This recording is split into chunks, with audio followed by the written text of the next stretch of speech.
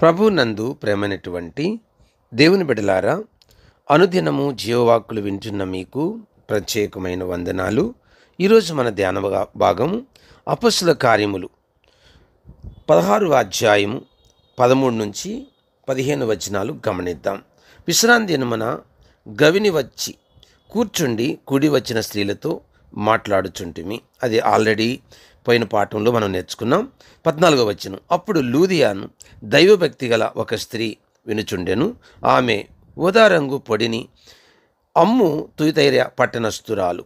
ప్రభు ఆమె హృదయము తెరిచెను గనుక పౌలు చెప్పిన మాటల ఎందు లక్ష్యముంచెను. ఆమెయు ఆమె ఇంటి వారును బాప్తీసం పొందినప్పుడు ఆమె నేను ప్రభునందు విశ్వాసము గలదాన్నని మీరు ఎంచితే నా ఇంటికి వచ్చి యుండుడని వేడుకొని మమ్మను బలవంతము చేసెను. దేవుని బిడ్డారా గమనించండి. ఈ వచనాల్లో ఉన్న భావాన్ని తెలుసుకుందాం. ఆరాధించే వారిలో లూదియ అను ఒక స్త్రీ ఉన్నది.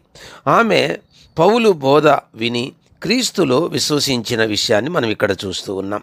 ఆ విధంగా ఆమె మొదట ఐరోపా క్రైస్తవురాలైన విషయాన్ని గమనించవచ్చు. ఆమె ఉదా రంగు పొడిని అమ్మేటువంటిది. ఇది గుడ్డకు రంగు వేయడాన్ని మనము గమనించగలం. దేవుని బిడ్డల ఆసియా ప్రదేశాల్లో ఉన్న తుతైరియా పట్టణంలో ఈ అద్దకం వేసే లేదా రంగులు వేసే తయారు అవుతూ ఉంది. ఇలాంటి పరిస్థితి ఆ ప్రాంతంలో ఉండడానికి గమనిస్తూ ఉన్నాం. ఆ పట్టణం నుండి వ్యాపారం చేయడానికి లూదియా ఫిలిపీకి వచ్చిన విషయాన్ని కూడా గమనించవచ్చు. దేవుని వాక్యమందు లక్ష్యముంచడానికి ప్రభు లూదియా హృదయాన్ని తెరిచాడని ఇక్కడ వ్రాయబడింది. నిజమైన మత మార్పిడి ఎప్పుడు దేవుని కృపా కార్యమే.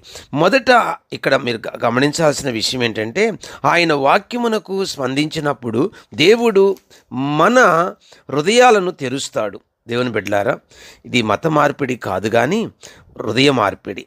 అయితే మీరు గమనించాల్సిన విషయం ఏంటంటే హృదయములో మార్పు అనేది జరిగినప్పుడు పరిశుద్ధాత్మ కార్యము మరి ఎలా అద్భుతంగా లూదియా హృదయాన్ని తెరిచాడో. ఇక్కడ మనం చూస్తున్నాం. అయితే దేవుడు మనలో ప్రవేశించడానికి మన హృదయ ద్వారాలను మనమే తెరవాలని మాత్రం మర్చిపోవద్దు. ఎందుకని? ఇదిగో నేను తలుపు నద్ద నిలుచుండి తట్టుచున్నాను. ఎవడైనా నా స్వరము విని తలుపు తీసిన ఎడల నేను అతని యొద్దకు వచ్చి అతనితో నేనును నాతో కూడా అతడు భోజనము చేయదము అని లేఖనము చెప్పలేదా? కాబట్టి ఆత్మదేవుడు ప్రేరేపించినప్పుడు ఆత్మదేవుడు గద్దించినప్పుడు ఆత్మదేవుడు హెచ్చరించినప్పుడు వెంటనే లోబడితే హృదయం తెరవ తెరవబడి ఆత్మకార్యం జరుగుతుంది. అప్పుడు నిజమైన శాంతి నిజమైన ఆదరణ నిజమైన ఓదార్పు నీకు దొరుకుతుంది. అట్టి కృప యేసుక్రీస్తు మరణ పునరుద్ధాన జీవము ద్వారా నీకు దేవుడు దయచేనుగాక ఆమెన్.